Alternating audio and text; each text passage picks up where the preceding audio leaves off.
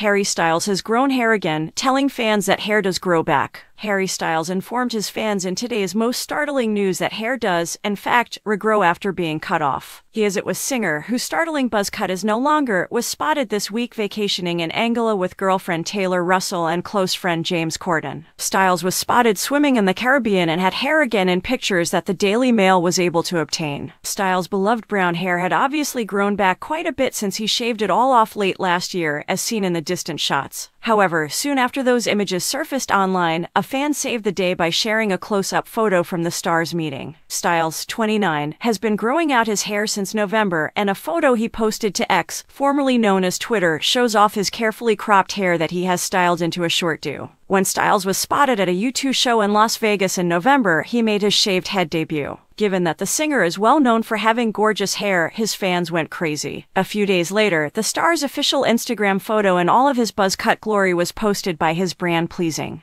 Many of Styles' followers swiftly moved past his haircut. After all, it's just hair, and the man is taking a vacation from his job, but some couldn't stop talking about it on social media. So much so that Styles' mother, Anne Twist, found out and became upset about all the hurtful remarks her son was receiving. Twist posted on Instagram a week after Styles made his do debut in an attempt to quell the criticism. The criticism H has received for getting a haircut is ironic when you consider his history of inclusivity and kindness, as well as his constant efforts to make people feel seen and valued for who they are. Excuse me, but I don't understand, she wrote. The hashtag TPWK, which stands for Treat People with Kindness and has become associated with Styles and his work, was used by the user to wrap up her caption. Since making his One Direction debut in 2010, Styles and his hair have become legendary. Over the years, the hitmaker has worn it in many different ways, from shoulder length locks in 2015 to the curly mop of his early days. Similar to the shaved head situation in November, there were devastating cries heard round the world when he chopped off his curls in 2016 before filming Dunkirk. Although fans still talk nostalgically about LHH, it doesn't appear that he will be returning anytime soon. Styles, at least, doesn't appear to be committing to the buzz cut long term. Maybe all his scalp needed for a few weeks was some air. Either way, his hair has grown back, for the time being at least.